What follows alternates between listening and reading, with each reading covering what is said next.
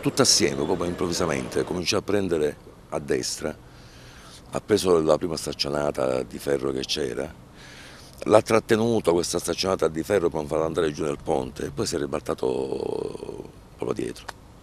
Erano le 9.30 di questo mercoledì mattina quando il signor Antonino, sull'autopalio all'altezza di Monteriggioni, ha visto l'autobus a due piani che lo precedeva uscire di strada, rotolando nella scarpata sottostante. Un morto e 37 persone ferite, il bilancio di quella che poteva essere davvero una strage ancora più grave. Quindi lei ha frenato, lei... Cioè, no. Io non sapevo cosa fare perché lui ha, fatto, ha preso il pilone, stava andando verso mio figlio che era con me, diciamo... Cioè, quindi il Garrel l'ha respinto un po'? Cioè... Un po', po l'ha respinto e l'ha trattenuto. Eh. Quindi ha fatto un sobbalzo verso interno strada, quindi ero dietro. Mm. E poi l'ha portato giù verso la scarpa.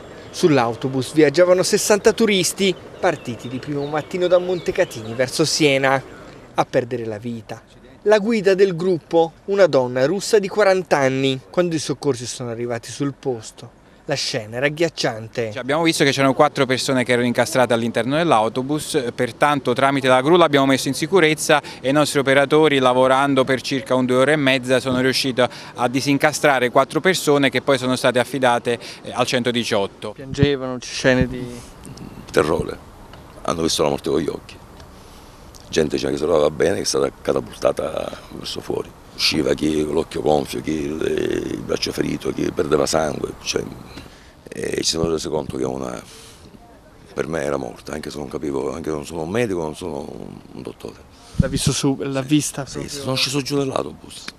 E il signor Antonino, testimone, ha parlato immediatamente con l'autista. Cioè lui stesso sì, cosa ha detto? Che io, io, gli ho offerto una sigaretta, gli ho offerto che si è distratto col volume alla radio. E non poteva, cioè non poteva, essere altrimenti, perché andava piano. Cioè lui nemmeno si è reso conto che l'autobus si è andando tutto verso destra e si, e si accostò al suo pilone. Non si è reso conto. Aperto un fascicolo?